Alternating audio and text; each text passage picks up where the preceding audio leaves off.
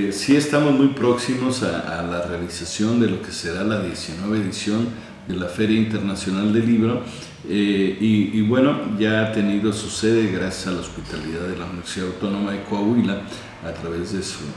de su rector, eh, licenciado Blas José Flores, para que sea el, el, campus de arte. En esta ocasión vamos a tener a, a Cuba como país invitado y a Baja California como país, como estado invitado. De cada uno de ellos eh, eh, viene un robusto programa que destacan eh, algunas actividades, bueno, pues en, en, la, en, la, actividad artística Cuba se va a destacar con muchas, muchas de ellas, vienen muy buenos escritores, el gobierno del Estado,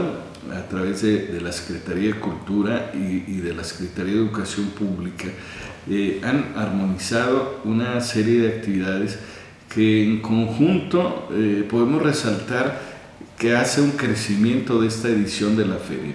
¿En qué, en qué, eh, en qué crece la feria? Bueno, fundamentalmente en espacio y en propuestas y ofertas que se le hace al público visitante. Vamos a tener aproximadamente 15 mil metros cuadrados de feria,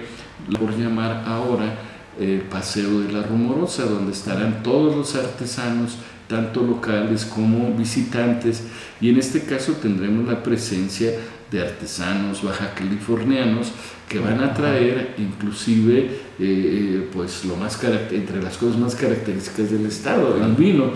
Eh, por ejemplo, vamos a tener el programa de Leo, luego existo, eh, que lo traemos junto con el Instituto Nacional de Bellas Artes. Y este programa permite traer a,